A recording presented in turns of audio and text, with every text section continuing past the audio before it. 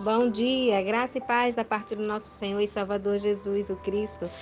Hoje, dia 21 de março, na meditação Falar com Deus, nós vamos analisar o tema Preciso sentir fome e sede do Espírito. Lá no livro de 1 Pedro, capítulo 1, no verso 12, está escrito assim: Aos quais foi revelado que, não para si mesmos, mas para nós, eles ministravam estas coisas que agora vos foram anunciadas por aqueles que, pelo Espírito Santo enviado do céu, vos pregaram o Evangelho, para as quais coisas os anjos desejam bem atentar. Amém?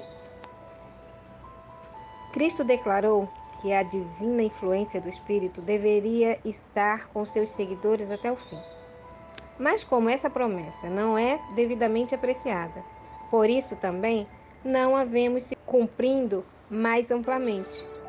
A promessa do Espírito é assunto em que pouco se pensa. Por isso, o resultado é secura, escuridão, decadência e morte espiritual. A falta do Espírito é que deixa o ministério evangélico tão fraco. Pode haver erudição, talento, eloquência ou qualquer dom natural ou adquirido, mas sem a presença do Espírito de Deus, nenhum coração será tocado, pecador algum será ganho para Cristo.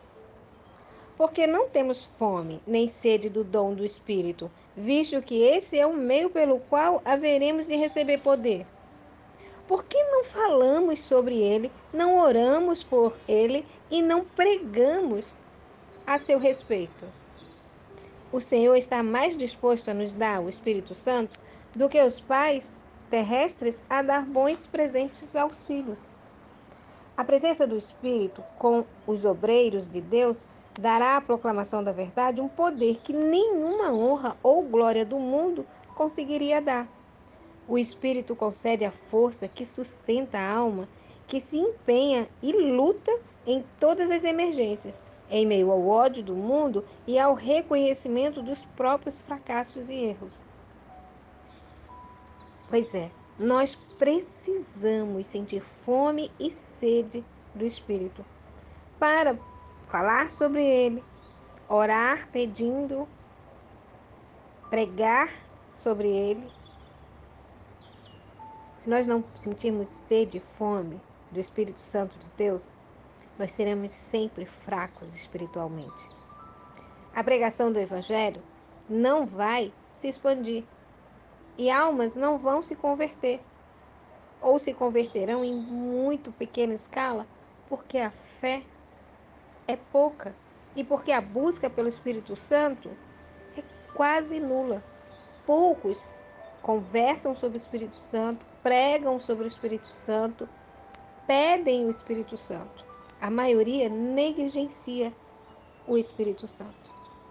Que Deus tenha misericórdia de nós e que nós possamos nos lembrar do que diz 1 Pedro 1,12: que o Evangelho que nos foi revelado hoje nos é revelado pelo Espírito Santo.